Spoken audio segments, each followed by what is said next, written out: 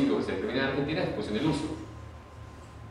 Eh, ¿Cómo sería ese límite máximo de residuo? Es yo inscribo un producto, estoy hablando así porque es un clásico, pero cuando yo registré la cipremetrina para controlar eh, un bichito en el ensayo lo hago en lechuga.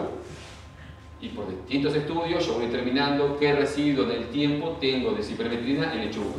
Todos esos datos, junto con toxicológico, con la ingesta diaria admisible, con la dieta de lechuga que se come en Argentina, con todo eso yo determino, y con factores de seguridad, cuál es el residuo tope, digamos, máximo que podría tener la lechuga, que no, en la información actual no habría un daño de acero. Entonces, eso es uno por uno. Es cipremetrina en lechuga. Si yo le apruebo cipremetrina en tomate, uno por uno tengo que hacer ensayo para determinar el residuo y determinar el límite máximo propuesto. El típico eh, no conformidad es uso un producto que está aprobado para unos cuantos, pero no para.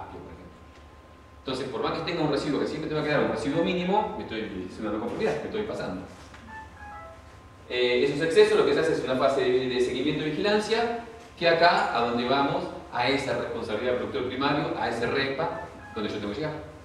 Hay que notificar la no conformidad, hay que imputar la no conformidad y hay que hacer un seguimiento de los próximos lotes. Si me produce lechuga y no lo tiene, se va a tomar muestras de lo que tiene. Eso, eso es.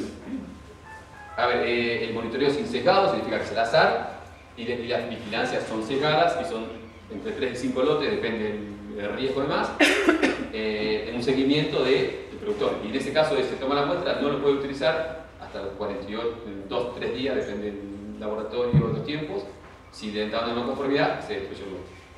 Eso es lo que se está haciendo hoy menos en NASA y que lo pueden seguir en la página web, tener un informe, que es un informe anual que van viendo, es el resumen de lo que está dando anualmente el monitoreo que ya hace desde 2010, creo que es el monitoreo de los residuos y. Ya, perdón, y acá estamos, hablando de residuos de plaguicidas y contaminantes biológicos. Salmonella, E. coli. Eso es lo que está haciendo más o menos en eh, ¿Qué más tenemos?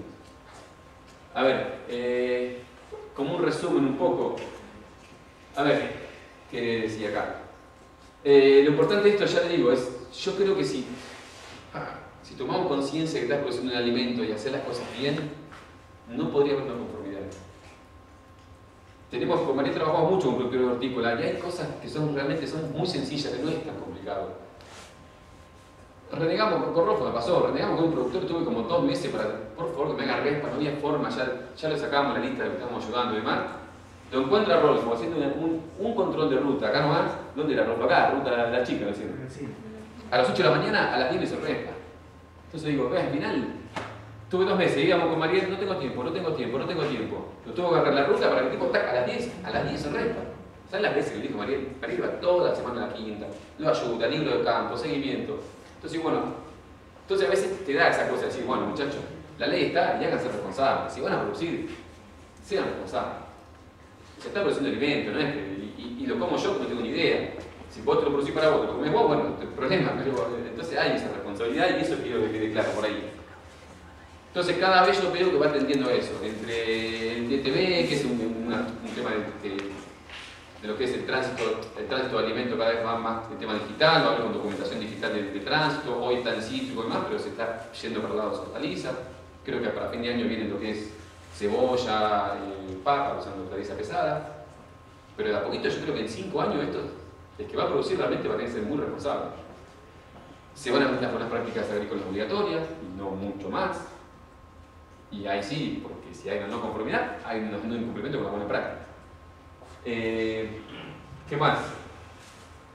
El tema del uso de los productos. Eh, estas son las dos normas básicas de límite máximo de residuos, pero, son viejas, porque en realidad los límites de residuos como que van generándose continuamente nuevos, no muchos, pero unos 10, 15 por año tienen. Pero si entran a la página que de SENASA, en la parte de agroquímicos tenés todo listado, tenés el eh, límite máximo de residuos. Y ahí entras, es un Excel, que está por norma y vos podés filtrar, filtrar por activo, filtrar por producto, o sea, filtrar lechuga y va a ver todos los usos aprobados por lechuga. Insecticida, fungicida, herbicida, lo que se le ocurre. Esta norma también contempla algunos productos que están exentos del límite máximo de residuos, como coadyuvantes, eh, productos de tratamiento eh, para semillas, están exentos. Hay productos que se llaman uso posicionado. Vos tenés uno, eh, algún hormiguicida que debería tener residuos, pero como tiene un uso posicionado, está muy claro en la etiqueta que es para usar en durando en el tronco en tal periodo, nunca vas a tener residuos. Si lo usaste bien, es imposible, entonces eso no corresponde, exento de residuos. Son muy pocos, pero hay. Discúlpame. ¿Sí?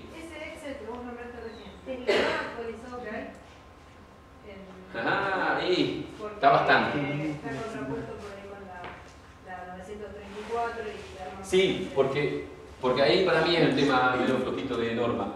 Porque para mí debe estar la norma y vos deberías publicar por una disposición, pero es un tema mío, es las actualizaciones, las actualizaciones que se van haciendo. A ver, hay empresas que van ampliando uso, o hay empresas que se sacan productos nuevos.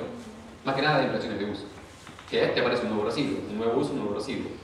Que no está en esa norma. Entonces, si buscan la norma, va a estar desactualizada. Si buscan el Excel en la página web, está más actualizado. Sí. Está desde febrero, marzo de este año, pero sí. No hay mucho invento en, el tema agroquímico, me está apareciendo cosas nuevas, pero, pero sí, no, buscar el Excel, no la norma. La norma está buena la, para saber cuáles son los exentos y los prohibidos, la tenemos 34. Y la 608, la 608 es un caso muy especial, la 608 es casi como una etiqueta. ¿Qué había? El gran problema que tenemos en Argentina es el cultivo protegido, llama alguno, o usos menores. Son esos cultivos que nadie quiere poner un peso para en uso.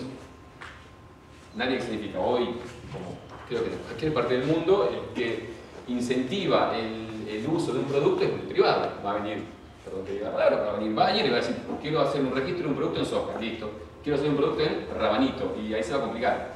Porque ellos económicamente quizás hacer todo ese desarrollo no les conviene. Entonces el 608 fue lo que hizo Senasa en su momento, es ampliar un montón de usos para cultivos menores.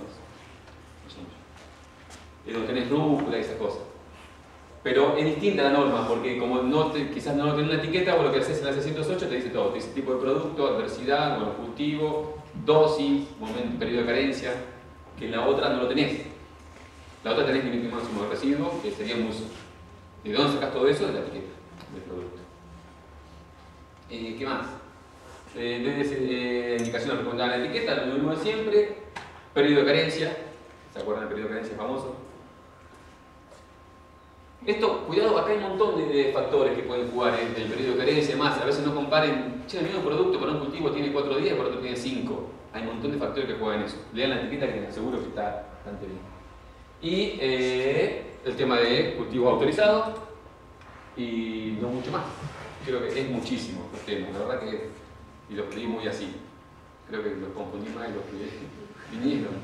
Pero pregunten lo que sea, intentaré yo que sé, solucionar eh, algo. ¿Esos monitoreos se hacen en todas las provincias eh, Sí. a cualquier tipo de quinta o, o tienen que tener una superficie mínima? No cualquier tipo de quinta. Es más, cuando vos quizás, que a veces para, para optimizar el recurso estás tomando en un no sé, mercado central, tenés un respa, que no sabés si es de, de esta, esta una chaqueta como esto o son 10 hectáreas. El tipo hay un modelo de acta, además, una, una nota respa, nota del productor, de dónde está tomando la muestra, además, y si hay una conformidad, está. Hay que ir al, al productor. Le hago una pregunta. ¿Sí? ¿Por qué tanto controla al productor y no a la cadena? Es que ahí está, eh, hay control. Eh, ah, es complejo, pero hay control de la cadena. ¿eh? Lo que pasa depende de qué. Lo que pasa es que, por ejemplo, vos vas Sí, al productor de. no al productor, al mercado concentrador y podés encontrar muchos cajones que ya directamente no tienen una etiqueta. Sí, ahí estarían en, sí, en infracción. Y con la ley nueva pueden tratar tanto el productor primario como todo el que está en la cadena de valor. Ah, Ya sea el que comercializa, vos deberías caerle al que comercializa. Es un tema complejo. Es producción primaria, habría que decomisar, es complejo. Pero si se están haciendo actas de intimación, se hacen, sí. Lo que hace es un acta donde te dice la no conformidad, quizás se toma la muestra, si está todo bien, no hay problema, pero se hace un acta al eh. Exacto. Y ya digo, y todo esto va a ir cerrando cada vez más complejo. Con el DTB se va a complicar más. Porque con el DTB, cuando empieza a caer la hortaliza, vas a tener que abrir, vas a tener que cerrar un puesto. Entonces va a tener que cerrar un mercado. Y el mercado no va a querer tomar la responsabilidad, va a tener que cerrar cada postero de cada mercado. O sea, en un mercado tiene 200 posteros, va a tener que cerrar ese DTB que viene y él mandarlo a consumidor final. Este, no, ahí en- hay una figura en, en la, lo que es mercado mayorista, la del fraccionador, que sería que de fracciona, que es algo que no se usa, Y muchos fraccionan, pero no están registrados. La figura del fraccionador existe en la norma, y es, uno más en la cadena comercial. Yo, qué sé, yo, pienso en hortaliza, ¿no? que para mí realmente es, el- lo más complicado. Soy sincero, es lo que yo pienso, no es que la- lo que piensa Senasa, lo que digo yo es una, producción compleja que la está mirando cada vez más de cerca y eh, ya les digo, viene el cambio. Para mí se viene un tema. Porque hay mucha presión mediática, hay mucha presión, se- a ver, hay cosas malas realmente, hay mucho que se habla que sean están así, yo les digo, el tema de residuos, hay no conformidades, la hay, pero cuando uno hay evaluaciones de riesgo, hay muchos factores de seguridad que están los residuos. Cuando uno hace una evaluación de riesgo de consumo agudo o consumo crónico, no hay riesgo para la salud, porque tenés todos esos factores que vos te dices que no significa que si tenés tres partes por billón y no estaba autorizado y tenías 0,1, te estás intoxicando, no es tan así. Pero sí hay conformidades, obviamente. En, un mercado local, del productor en la mesa, en un mercado local, ¿qué rol cumple bromatología del municipio? Ah, qué buena pregunta, que no la sé. Eh, no la sé, pero sí tiene responsabilidades, segurísimo tiene. Es como la misma responsabilidad que tiene desde, claro, desde, usted dice desde, no sé, del supermercado que vende o